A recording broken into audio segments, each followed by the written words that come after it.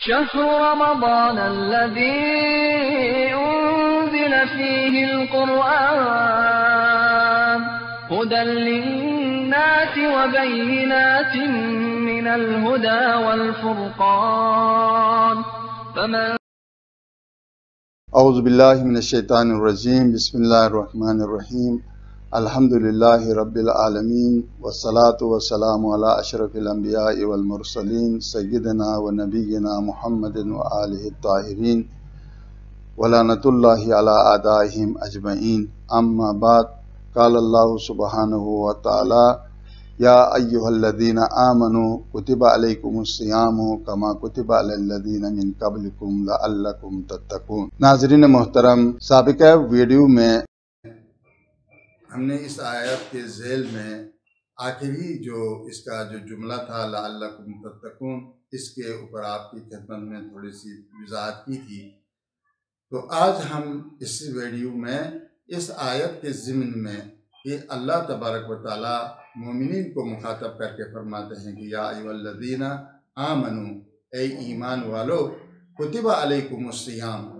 यानी ये आ, इस आयत में अल्लाह मोमिन को उनकी दिलजुई करते हुए ये फरमाता है, उनको हौसला देता है कि मोमिनों कि ये ख्याल न करो कि ये माह मुबारक रमज़ान जो है, ये सिर्फ़ तुम्हारे लिए फ़र्ज़ किया गया है, तुम्हारे लिए इसको लाजिम करा दिया गया है।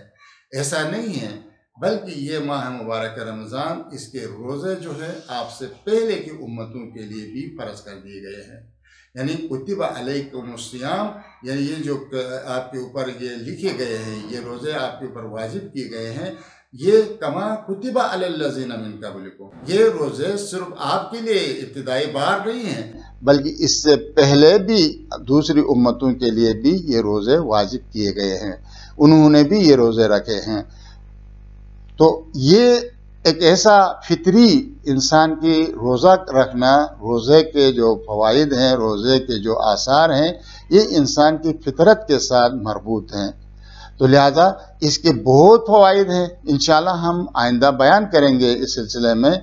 यहाँ पर रोज़े की अहमियत के बारे में, इस आयत के झेल में हम आपकी खदमत में रोज़े की अहमियत के बारे में कुछ बताएँगे।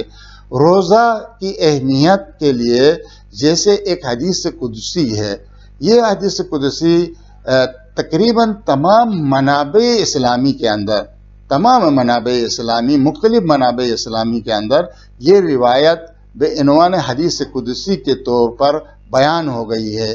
और ये रिवायत रमज़ान के महीने की अहमियत के लिए बेहतरीन दलील है कि जिसके अंदर इस रिवायत में पैगंबर इस्लाम फरमाते हैं कि अल्लाह तबारक व ने फरमाया, जहाँ पर अल्लाह तबारक व दरमियान में आते हैं तो ये हदीस फिर हदीस से कुदसी होती है। यहाँ पर आपको हदीस से कुदसी और कुरान में ये फ़र्क है कि कुरान के अल्फाज भी खुदा की जानब से होते हैं और उसका महतवा और उसके अंदर जो मौजूद जो मतलब है, वो भी अल्लाह की जानब से होता है। इसको कुरान कहते हैं।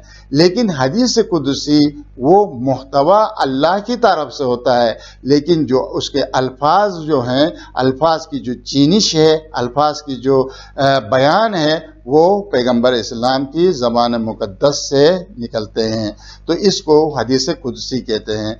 इस हदीस कुदसी में पैगंबर इस्लाम फरमाते हैं कि अल्लाह ताला ने फरमाया कि असोमली व अना अजी बिह। असोमली व अना अजी बिह यानी रोज़ा मेरे लिए है और मैं ही इसका जजा दे दूँगा।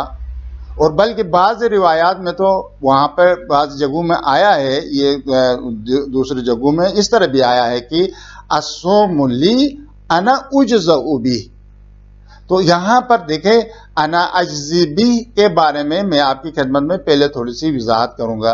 और वो ये कि अल्लाह तबारक व किसी भी इबादत को ये नहीं कहा कि ये इबादत इबादत मेरी है। जैसे कि आ, मतलब नमाज़ इतनी बड़ी इबादत है नहीं कहा यानी अल यानी नमाज़ मेरे लिए असलात ली नहीं कहा हज ली नहीं कहा। इसी तरीके से दीगर जितनी भी कुर्बानी है कुर्बानी देते हैं, कुर्बानी करते हैं। अल नहीं कहा कि जनाब कुर्बानी मेरे लिए है। लेकिन ये मकाम रोज़े के लिए है कि जिसके लिए अल्लाह ने कहा कि, अल्लाह ने फरमाया कि असोम ली, यानी रोज़ा मेरे लिए है। तो इसकी वजह क्या है? क्यों अल्लाह तबारक व ताली ने रोज़े को अपने साथ, अपने लिए बयान किया? तो फरमाते हैं कि जनाब यानी इब्न असीर मारूफ मुफसर कुरान भी हैं मुर्रख भी हैं। ये फरमाते हैं कि यहाँ पर अल्लाह तबारक व ताली ने जो फरमाया कि असोमली इसकी वजह ये हो सकती है कि तमाम दूसरी जो इबादत हैं, वो दूसरी इबादत, जितनी भी इबादत हैं, वो मुशरकिन या दूसरे लोग अपने खुदाओं के लिए भी करते थे। यानी कुर्बानी करते थे अपने यानी खुदाओं के लिए बुतों के सामने। उनके सामने नमाज़ पढ़ते थे, उनके सामने और जो है इबादत अंजाम देते थे, खुजू, खुशू करते थे। लेकिन ये जो, इनमें से कोई एक भी अपने बुतों के लिए, अपने खुदाओं के लिए रोज़ा नहीं रखते थे। तो ये रोज़ा अवलिन बार जो है, ये रोज़ा जो है खुदा के लिए रखा गया है। यानी ये रोज़ा अल्लाह तबारक व ताला के लिए रखा गया है। तो इसी वजह से अल्लाह फरमाते हैं कि ये रोज़ा मेरे लिए है। यानी रोज़ा किसी और के लिए ये इबादत नहीं की गई है। ये इबादत जिसने भी किया है, उसने अल्लाह के लिए ही ये रोज़ा रखा है और अल्लाह के लिए ये इबादत की है। तो इसी वजह से अल्लाह फरमाते हैं कि असोमो ली। और उसके बाद फिर दूसरे जुमले में फरमाते हैं कि वो अना अजो आला अजी भी यानी मैं उसी का, मैं मैं ही उसी का जजा देता हूँ। यानी यहाँ देखें, ये अगर कोई अदबियात अरब के से जो है जोक और शगफ रखने वाले लोग समझते हैं कि यहाँ पर फेल से पहले अना मुतकलम वहदा का की ज़मीर जो पहले लाई गई। अना, मैं।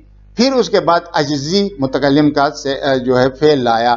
तो फेल से पहले मुतकलम की ज़मीर का लाना, ये इस बात की दलील है कि खुदावन ताला ये फरमाते हैं कि इस रोज़े का जो जजा, इस रोज़े का जो सवाब जो दिया जाएगा, वो सवाब व जजा मैं ही दे दूँगा।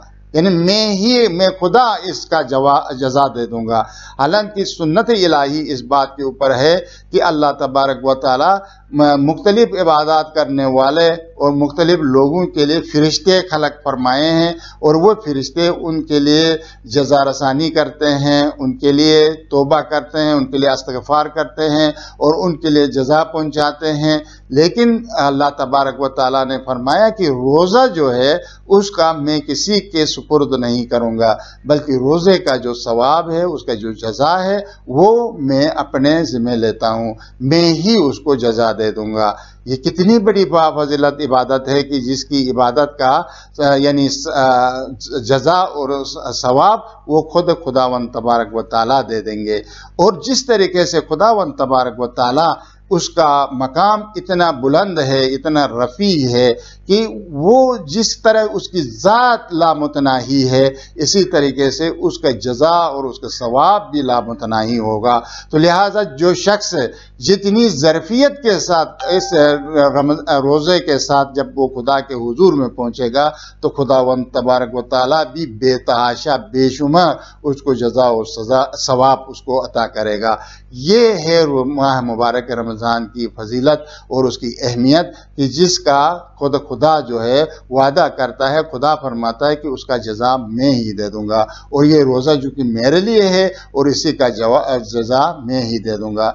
और बाज़ जगहों में तो ये कहा गया कि अना उजोबी अना उजोबी का माना है, यानी मैं इस रोज़े का जजा हूँ, यानी मैं खुदा इस रोज़ेदार के रोज़े का जजा हूँ। यानी क्या खुशबहाल खुशबक इंसान होगा जिसका, जिसके इबादत और इसके रोज़े का जजा खुद खुदा करार पाए।